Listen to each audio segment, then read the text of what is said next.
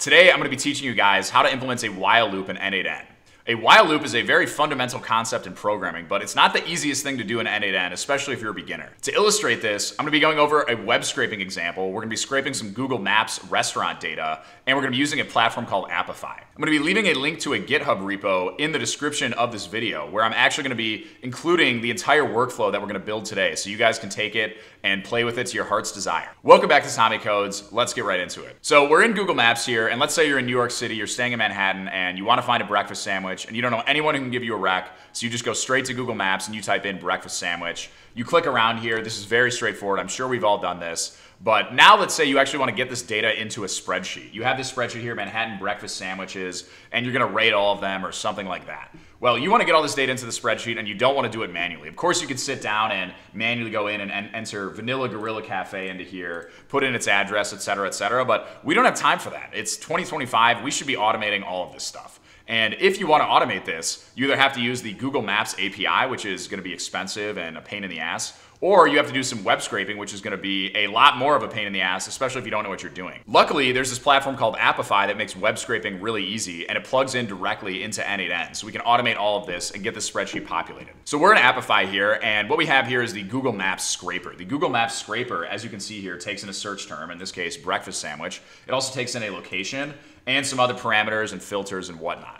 I have Manhattan, New York, and then breakfast sandwich. Let's go ahead and run this guy. We're gonna click start, and now we're taken to this page where we have this table output. And as we can see here, we see that the actor is getting your data. So it's actually running right now, going against live Google Maps and pulling in the data for us. This is gonna take a minute depending on the number of results, how fast the actor is, et cetera, et cetera. But this could take anywhere from 10 to 40 seconds, and this is for only 50 results. If this was gonna be hundreds of thousands of results, this could take hours. And we can see here that stuff is streaming in. We've got the name, we've got addresses, the score, the number of reviews. So we can do a lot with this data and we can clearly get this into Google Sheets easily. But what if we want to do this with N8N? Well, luckily, Apify has an API. And if we go over to actors, let's go back to Google Maps Scraper. We're going to click on this API up here. And we're going to see a bunch of API endpoints. And one of the endpoints that we're going to want to use is called run actor. Run actor will trigger the actor. And in the body of this request, you pass in the parameters like the queries to Google Maps and the location, which I'll explain in a minute. But if you'll notice, there's a few different run actor options. There's run actor, there's run actor synchronously, there's run actor synchronously and get dataset items. So if you run run actor, it's going to return immediately. You're basically just going to get a thumbs up from Apify that says, yep, we got your request, and it's running in the background. If you do run actor synchronously, it is going to wait until the actor is fully complete, but it's not going to return any data. If you run run actor synchronously and get dataset items, it is going to run the actor. You're going to be blocked waiting for it to finish. And in the response body, you will get all of the dataset items. Now, this is probably the easiest one to use by far because you're just going to get the data. It's almost just like calling a regular API. But the downside here is some of these actors can take, you know, 20 minutes, 40 minutes to run, and you might run into some issues with timeouts. You, you don't want to have something that finicky. What if it breaks? So what we're going to do is we are first in N8N, we are going to run the actor with this endpoint. Then we are going to go in and we are going to pull the status of the run. And that's going to tell us if it's done or not. And then once the run is done, then we can go in and actually get the dataset items. And I'll show you guys how this works. But basically what we need to do is keep calling this get run endpoint until the status that it returns is succeeded or success or something like that. So let's go over to N8N. I've got that New York City breakfast sandwich scraper here. And the first thing we're gonna do is use an HTTP request. And unfortunately, as of May 2025, when I'm recording this video, there is no native Apify integration. So we are just gonna go with the straight HTTP request. And what we're gonna do is we're gonna go over into Google Maps Scraper. We're gonna go into the API. We are going to run the actor. Whoops, no, I don't wanna do that. I wanna do this. We're going to run the actor. We're going to copy that. We're going to paste that in here. We're going to use a post. And we need to send a body because we need to give it the parameters. And the parameters, I mean all of this stuff here.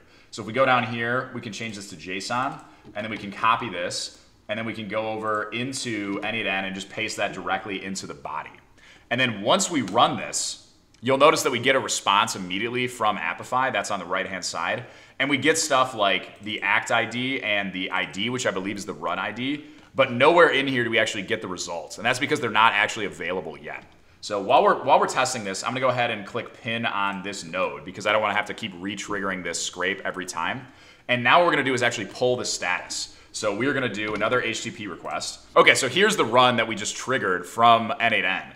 And as we can see here, let's go into the API. the run ID is this FUX, FUX. And then if we go over here, the ID returned to us in the initial call to run actor is this FUX here. So we're gonna go ahead and copy this. We are gonna paste it into the URL here. And if we call test, and if we call test step here, we'll see that there's this status here that says succeeded.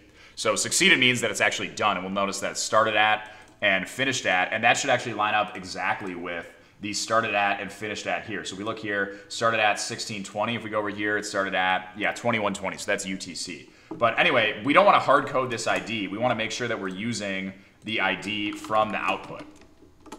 So we're going to do data dot ID.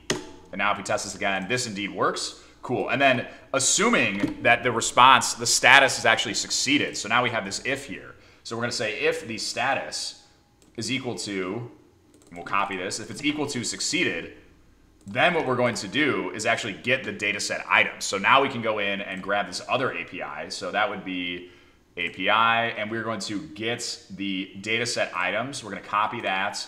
We are going to paste this here, and again, we have to use the HTTP request. So let's go HTTP request, and we're going to call that.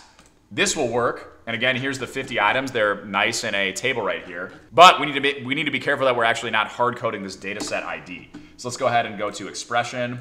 And what we want here is actually the data set ID, which should be somewhere over on the left-hand side here. Hmm. It is, I think it's called default data set ID. Yes, here it is. So we put that in there, and now we see this guy. We hit test step, and it works.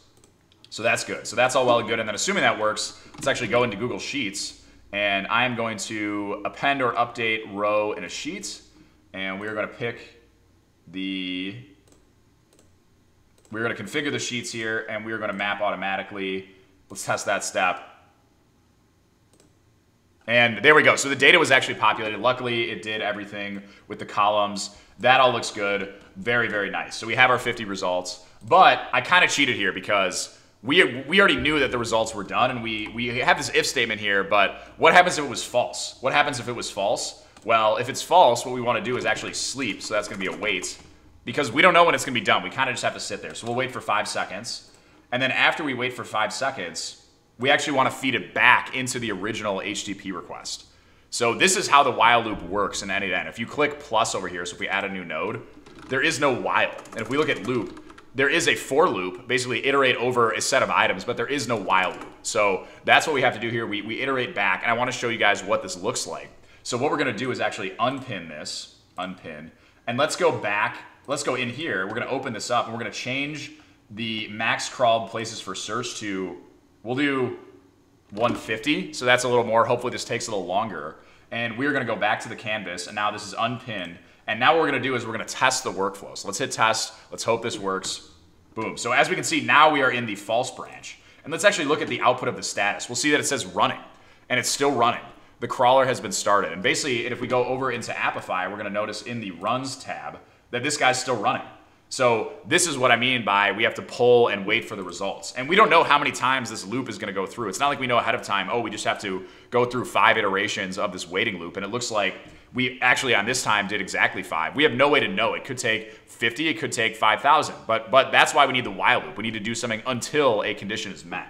So if we look over here, this guy ran five times, this guy ran five times, the wait ran four times, and then eventually, finally, we were able to make the final HTTP request to fetch the dataset items and then add that to the Google Sheet. And if I go over to my Google Sheet, now we have uh, what looks like 200 great breakfast places in Manhattan, so you can do whatever you want with that. Cool. So now we've renamed this. It's a little easier to work with. And what I'm going to do for you guys is I'm going to take this, I'm going to download this workflow as a JSON, I'm going to put it in a Git repo, and I'm going to leave it on GitHub, publicly available, so you guys can basically have this and use it in whatever you want. And I wanted to explain this to you guys using this example of Apify because I think that's a pretty common use case for N8N. And it's the one place where I've really wanted to have a while loop. And it took me a little longer than I'd like to admit how to actually do this in N8N, even though I learned a while loop like my first day of programming way, way back. So if you guys are interested in hearing why I actually changed my mind on these no-code platforms like N8N in the first place, you should check out this video right up here.